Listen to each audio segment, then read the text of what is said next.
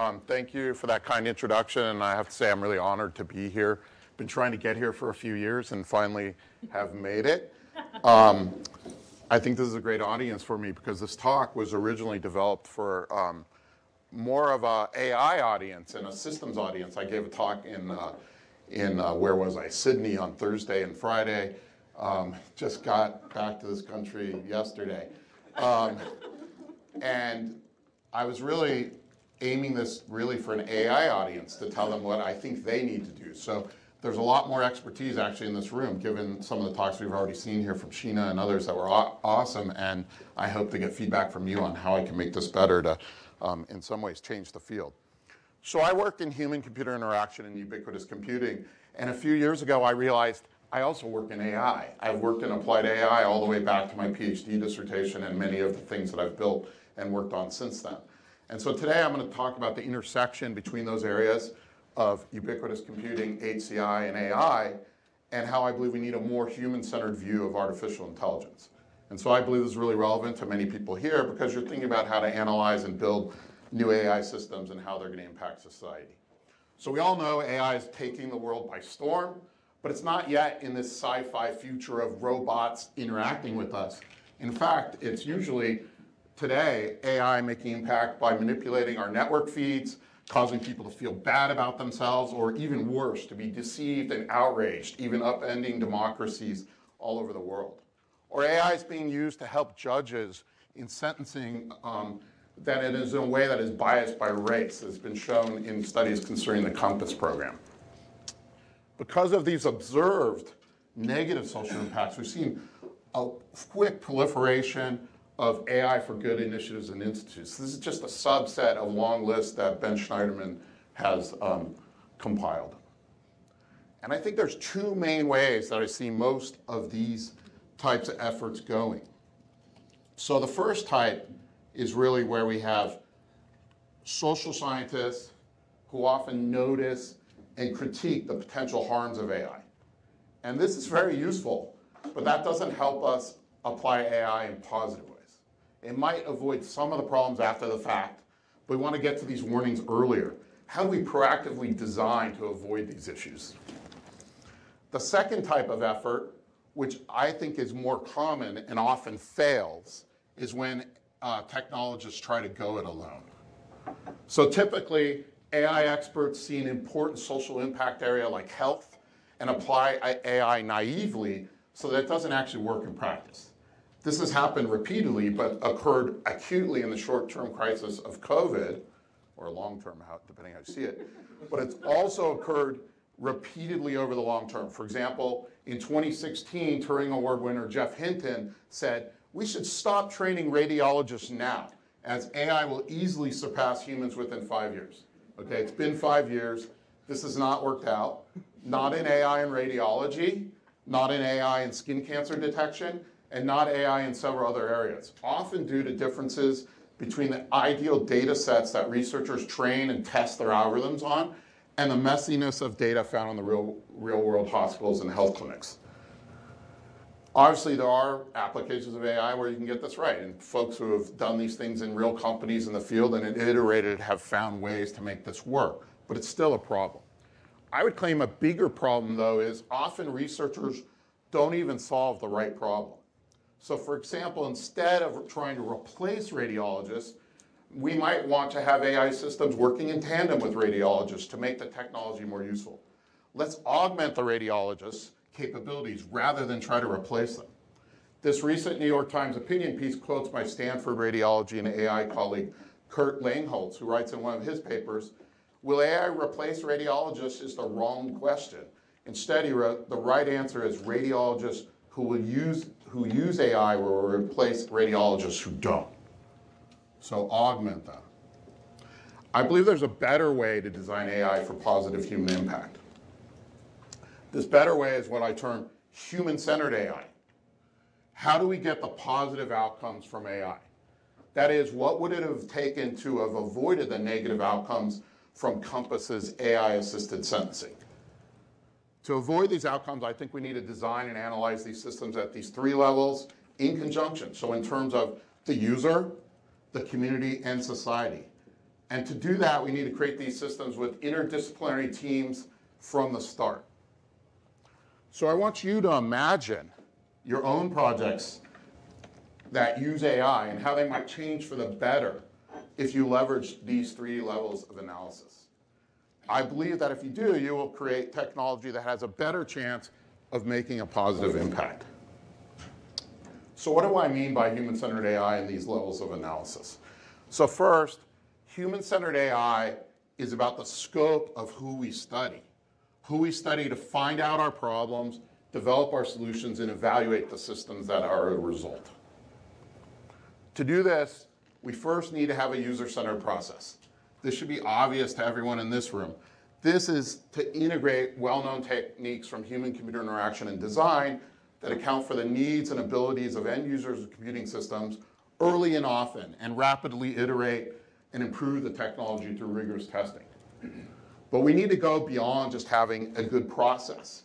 We need to think hard and creatively to develop new designs that augment people by carefully accounting for their cognitive abilities and their existing workflows. And we want to base these on underlying theories that explain why people behave the way they do.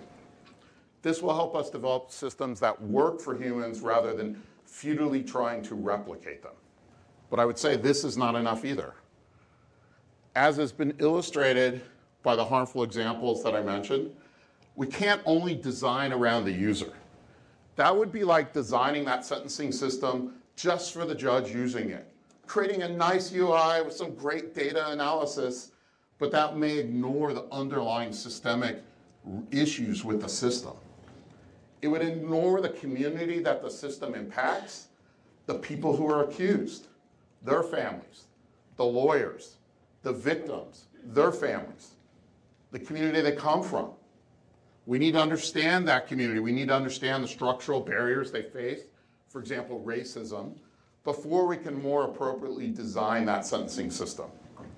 Maybe some of those people we think about at the community level would actually be the users of the system as well and should be included at that user-centered design level. But even that's not enough. We also need to understand what the impacts are on society at large. What does it mean to have a large percentage of the US population in prison, for example, or even a larger percentage of African American males, or a large percentage of people who are simply caught using illegal drugs? These issues have immense societal impact and high social costs. And we want to have some analysis of what the potential impacts of our new software might be on these questions. So we need to be able to forecast what might happen if this system becomes ubiquitous because somehow we did so well that it succeeded and designed to mediate potential societal impacts.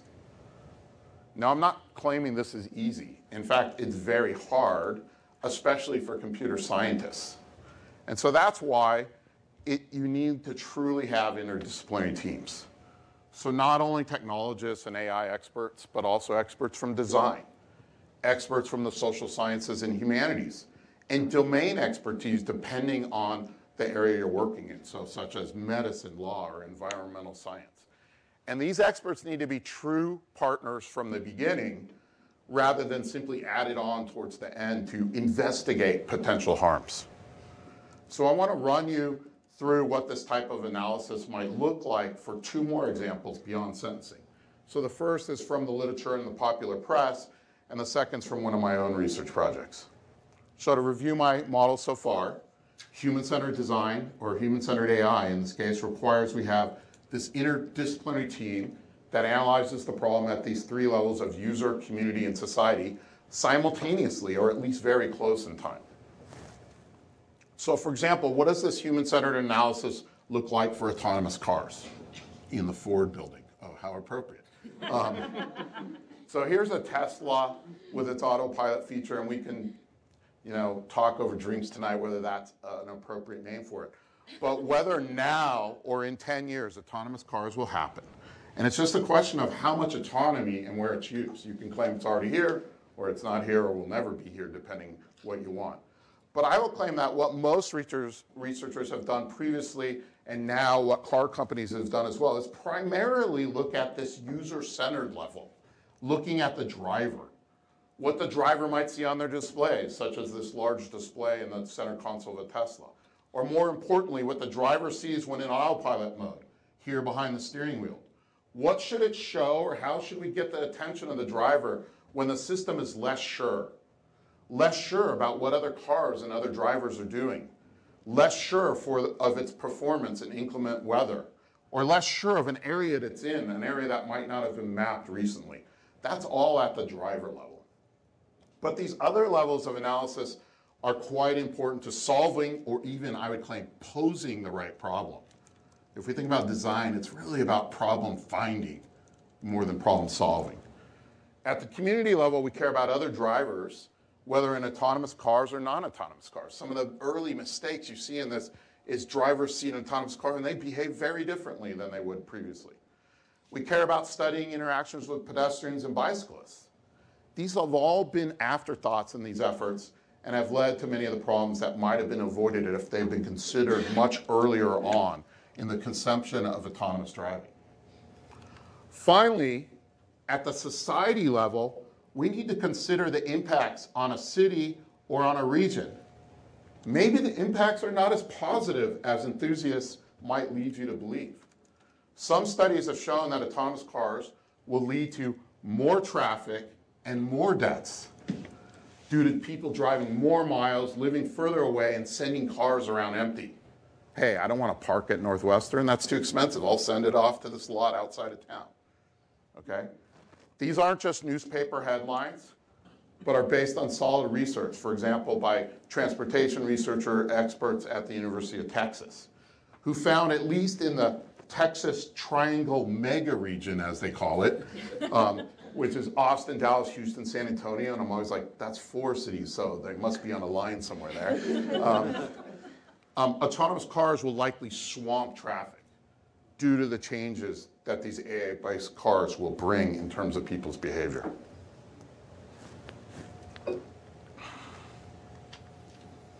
With this type of analysis from the start, we might decide our social resources might be, or societal resources might be better spent on building a better public transit system. If we only analyze and design at this user-centered level, the level that most of us in HCI, but not all you great community researchers there, but many of us, um, if we only start at that level, we may ignore these important questions until it's too late. So I don't want to give you the impression that there's no related work in this area. Um, in fact, First of all, HCI and design have been working at the at least the user-centered level for 50 years. And there's many, many known techniques, and there's great newer work trying to apply these kind of techniques specifically to AI. So for example, this good paper by Saleema Amershi at Microsoft and colleagues at Microsoft and University of Washington a few years ago in CHI was quite good. At the community level, you know, again, there's well-known techniques for many years. For example, value-sensitive design developed by Batya, Friedman, and colleagues at the University of Washington helps designers really find what the particular values are of their users and be explicit about them in design rather than just relying on the embedded values of the designers themselves. And there's new ideas such as design justice by Costanza Chock.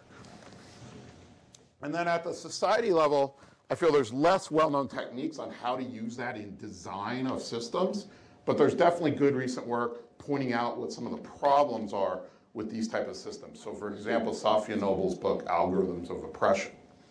One of the key research questions for me is how do we integrate these kind of ideas into a coherent process that design teams could actually use to do better and create human-centered AI. So due to the recognition of the negative impacts of AI, we recently started a new institute at Stanford to study human-centered AI. It's actually three years now, but I'm compressing it in COVID time. Um, I'm one of the co-founders and recently became the vice director of this. And although HAI's goals are wide-ranging, they're really anchored in three basic tenets that suffuse everything we do, and these were really laid down at the start. So first, we believe that AI should be inspired by human intelligence. This is more about the algorithm. So we should strive to learn all the ways we can from the nature of the human brain and the nature of human behavior to help us, help us determine where AI should go next, beyond deep learning. What's next in AI at the algorithmic level? Second, we believe that AI needs to be guided by concern for its impact on human society. Given how potent it is and considering all the effects after the fact, just won't work. So we need to be considering before, during, and after, and as some people mentioned in the last session, maybe even not develop sometimes, though I would claim that's easier to say than done. And then third, we believe that AI should augment, not replace human capabilities. This is more about what is our design stance in how we design for AI. With proper guidance, we believe AI can enhance the qualities about what make the qualities that make us human. So one of our early innovations here has been the sponsorship of an ethics and society review process. This was really started in response to the US IRB. So as everyone in this room's probably ever gone through, you go through your IRB process to protect your human subjects in your studies. But that's about the risk to those subjects, not the risk to human society. In fact, IRB even excludes doing the later.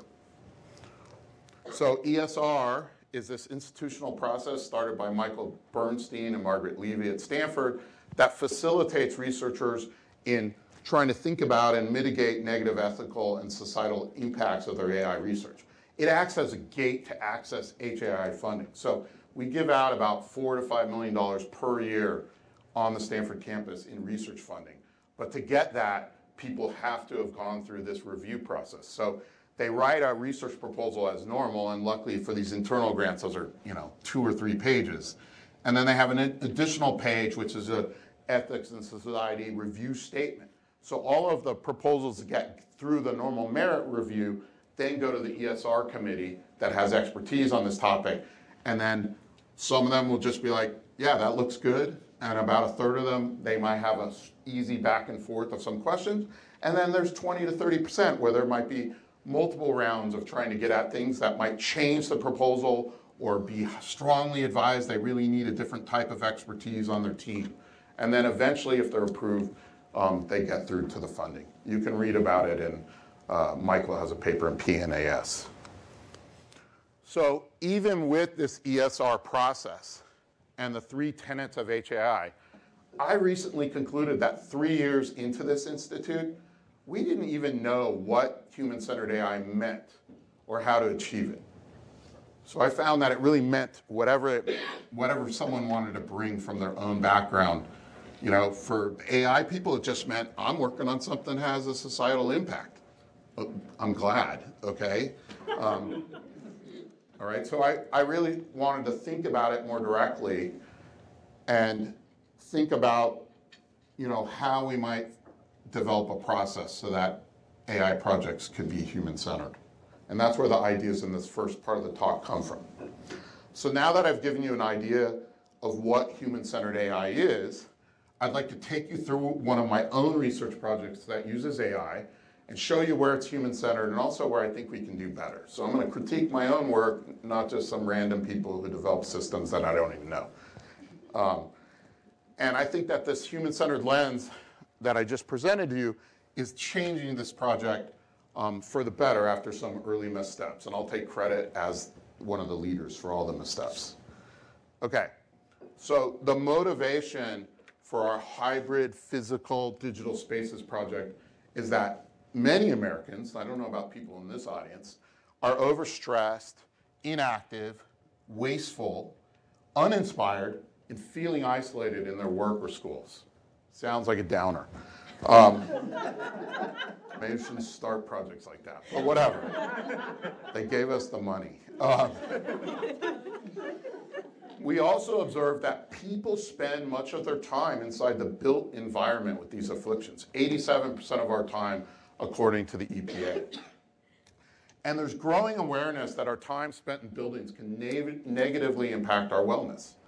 But the science behind that awareness and the recommended strategies to improve the situation are actually quite thin. And this really surprised me when we started the project. I expected, oh, the architects and the civil engineers, you've all done these studies and you know like what this natural light does to us and all this. Um, And you know what? They really haven't done a lot of that. You won't find a lot of great research there. So we were really interested in how can we build up a science to understand how buildings affect people and how could we redesign spaces based on that science to account for these understandings? And then finally from you know my user-centered hci view it was how do we design systems that could sense our afflictions and then adapt that environment dynamically to uh, improve our health and wellness? So those were the basic ideas. We did the first thing right. We started out with this great interdisciplinary team that includes expertise in buildings and architecture, in computing, including HCI, security, and AI, and then real experts in people. So we have folks in psychology, health, privacy and law, education, and even organizational behavior. And they all had a passion for creating a better built environment. But we were not using this human-centered AI lens when we started this project. And as I said, I'll admit as the HCI person, I was very focused on this user-centered level, okay? Let me build my ambient display on a wall. but I'm gonna use this human-centered AI lens now as I go through the pieces of the project to illustrate where some of the gaps might be. So just to give you a little more of the background, we based our initial ideas on a model that illustrates how building features, individual outcomes, organizational outcomes, and societal outcomes are all linked. By building features, we mean things about the design and construction, and, but also the user experience. So think about how noisy is it? Is there access to natural light? This room is actually quite good in this way. What type of materials are used? Is there access to nature? If these are negative, like I've shown in this example, they can lead to bad individual outcomes like stress, anxiety, and distraction. That's at the user-centered level. That in turn can lead to organizational or community outcomes such as a lack of productivity or waste or a sense of lack of belonging in the organization.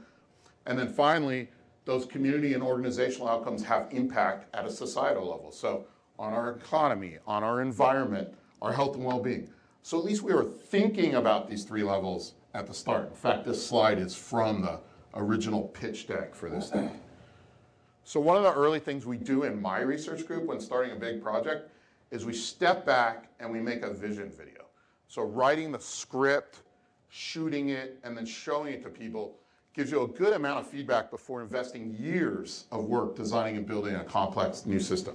So I'm gonna play the vision video for you now. This was made probably five summers ago by some summer undergraduate interns that I had who were probably mad at me when I said, oh, you're gonna spend the summer, you're gonna make a video, not you're gonna build some new system. Um, again, this is just what our initial ideas were, and it was a way to explore it. This is not what we were even committed to doing by the end of that process. Okay, let's see if this works.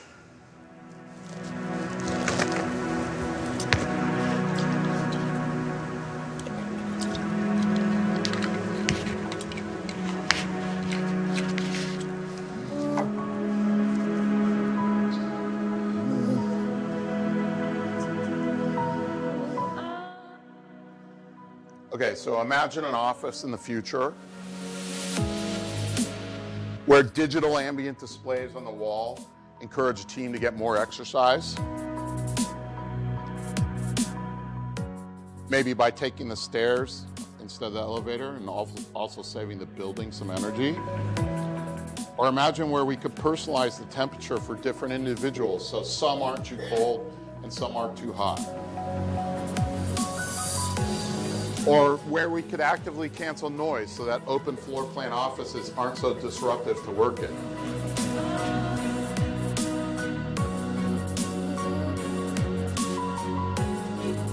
Or where we can detect the stress of a worker and adapt their space to have more natural scenery, lower the lights, and change the music to reduce their stress.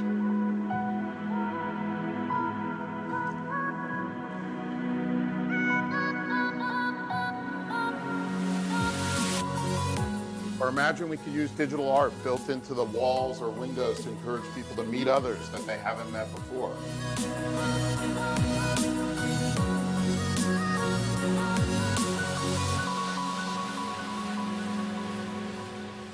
Or even to go outside.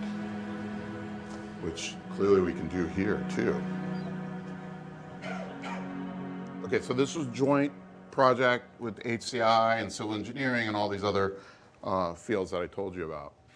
So this is a vision of the future where buildings and people interact in a way that proactively shapes our health and well-being. But I'll admit it's a very techno-optimistic future.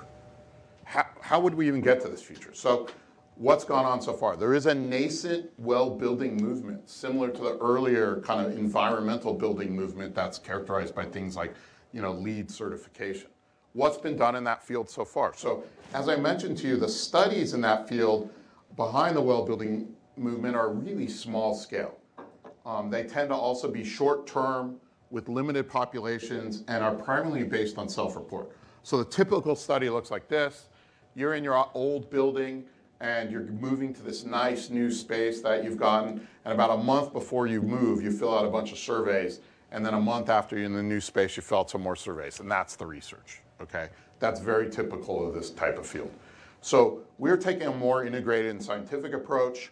Our first step is to establish the science and understand how these building attributes affect occupant states and do this in naturalistic settings over long periods. We also wanted to develop an infrastructure so other researchers could do that in different spaces than we had available to us. We also wanted to design adaptations, including dynamic ones, to support well-being. But before we could create and deploy any of these new technologies, we need to understand what type of sensing and data collection people are willing to work with and which they prefer not to have in their environments. I'll discuss these three issues in turn.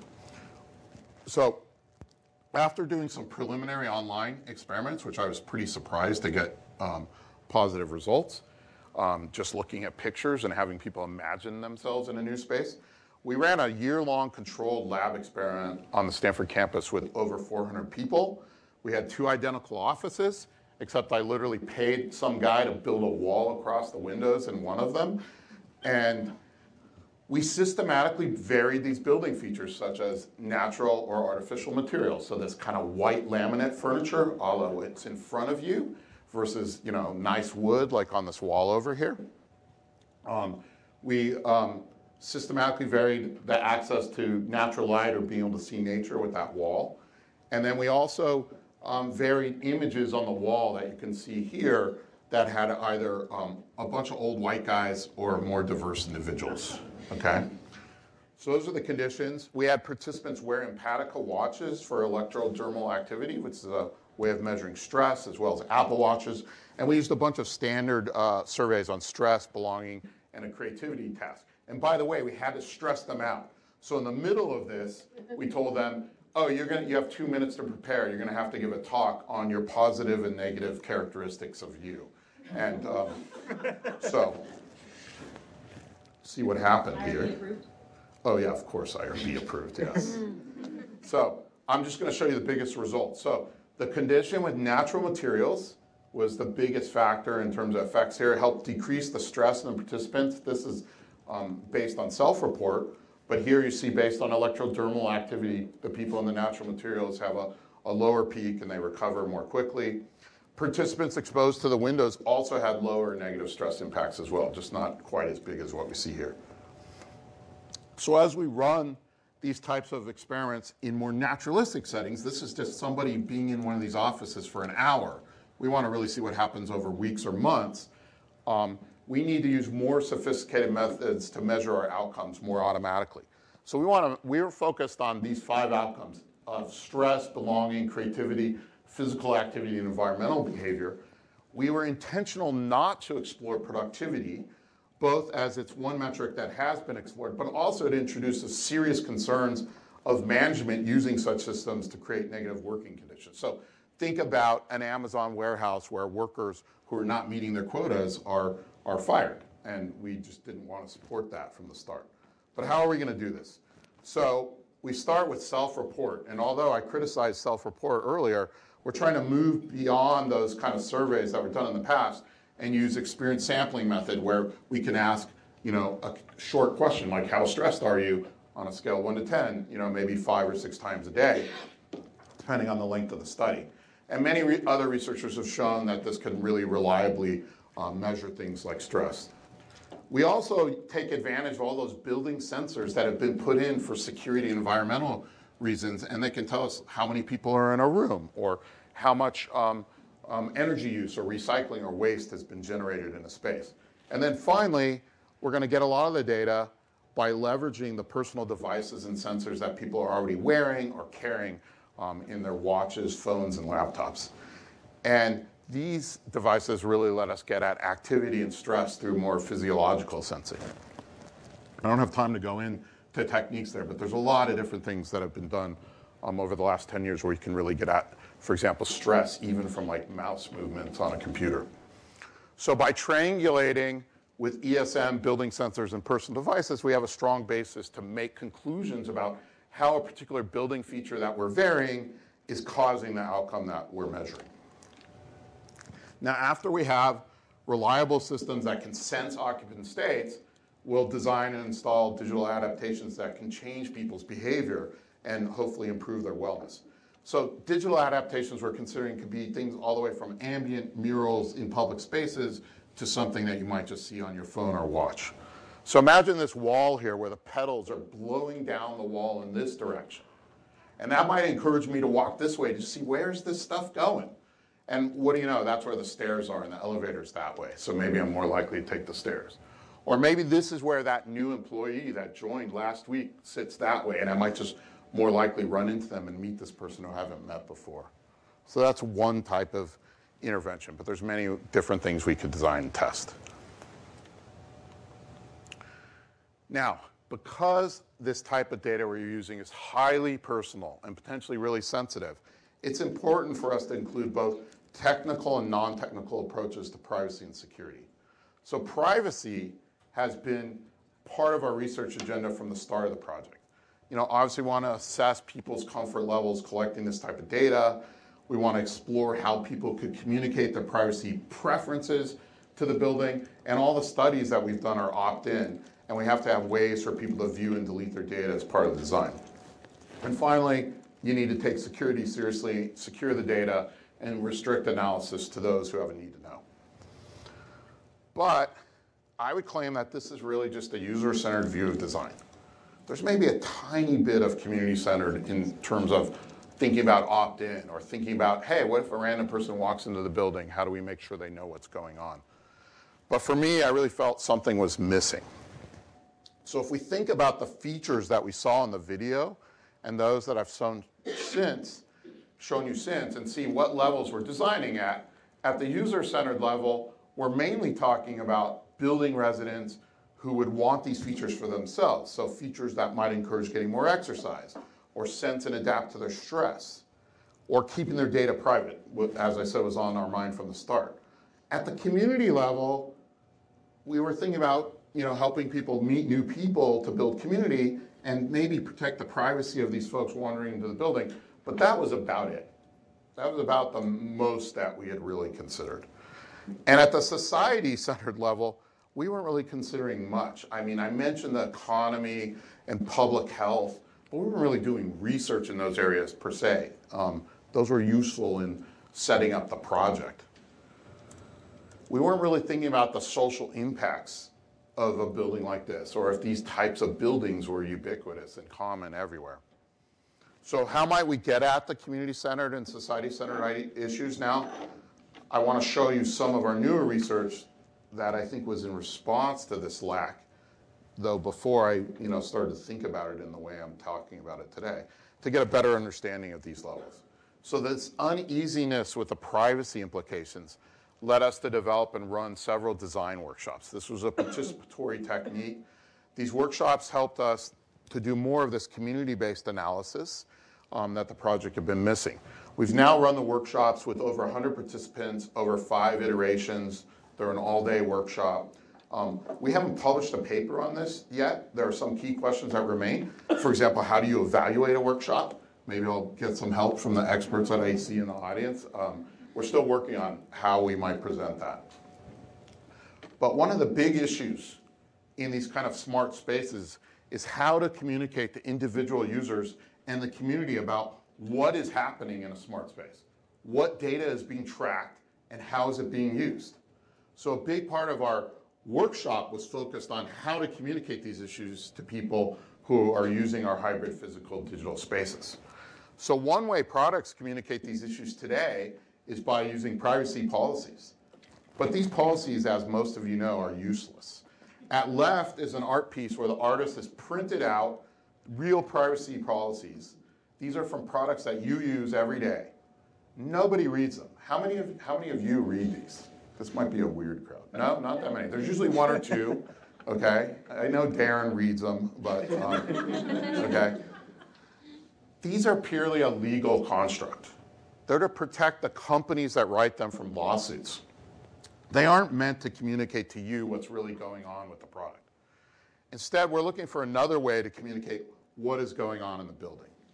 So we've been developing this idea of implication design.